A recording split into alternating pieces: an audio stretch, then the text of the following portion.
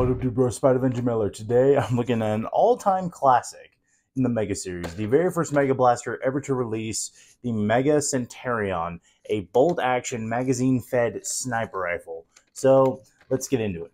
Now, before we get into the rest of the review, I want to reiterate this isn't a brand new one. I bought this used for twelve dollars, so it doesn't come with every single accessory, and there's some flaws that I'll go over in my opinion. External overview of the blaster, starting up at the front, there is no N-Strike barrel lug. This is a Mega Blaster. There's not, I think there's only one N-Strike attachment that could actually fit a Mega Dart through its barrel, and I think that's like the Spectre barrel.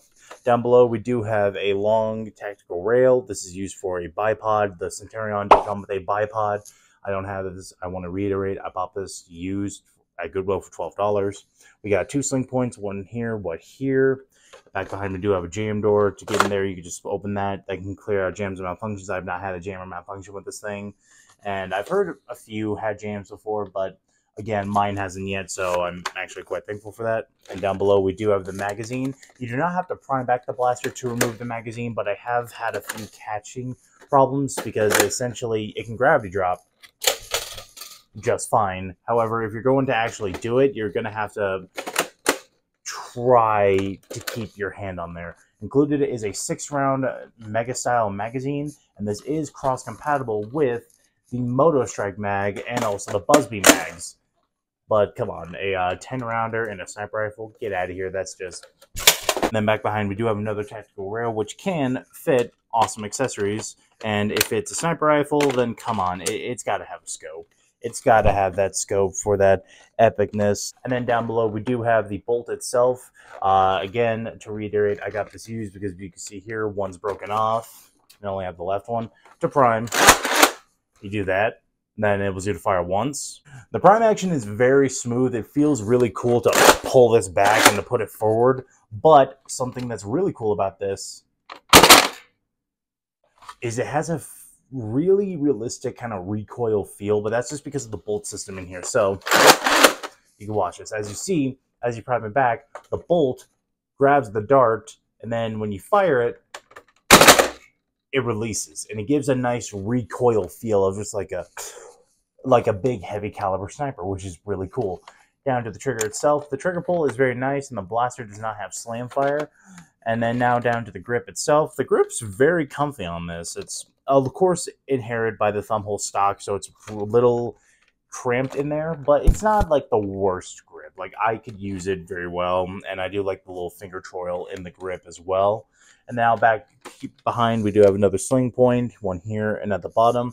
And now back to the stock. This is a fix in place, non-adjustable, non-removable stock, and you would think that'd be uncomfortable, but for me, I I don't know. I, I think it's because I don't like the Thunderhawk stock and this is actually like not a bad stock for me. But that's an external overview of the Nerf Mega Centurion. Now I will show you firing. Starting off with just regular Mega Darts.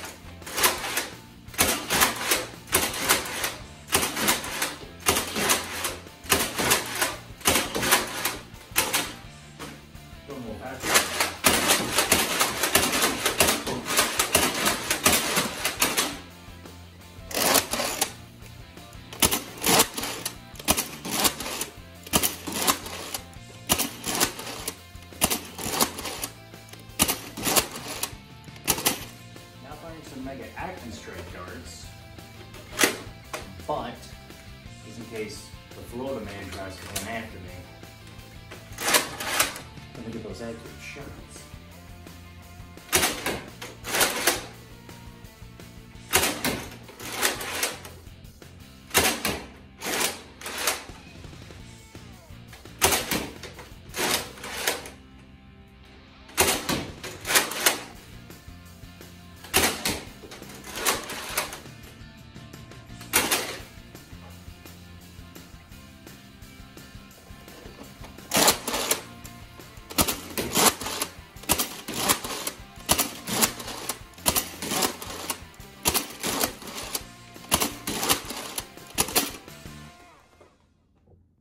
Well, firing the Mega Centurion is, of course, a very fun experience, and it, it's it's a blast. Like I I don't know what how to feel about it. It's just it's a very nice emotional blaster.